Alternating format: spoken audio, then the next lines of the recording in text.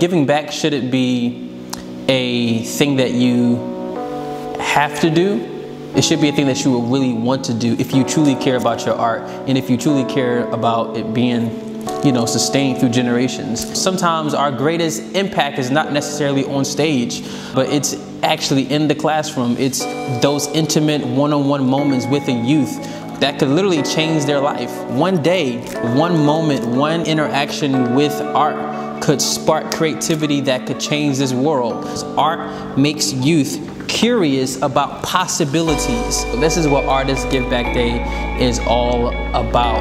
Uh, it's all about impact. It's all about making a difference. It's all about change. It cannot end with us. Our gift and talents cannot end with us. Yeah. Shout out to all of our sponsors, everyone who made this thing come together.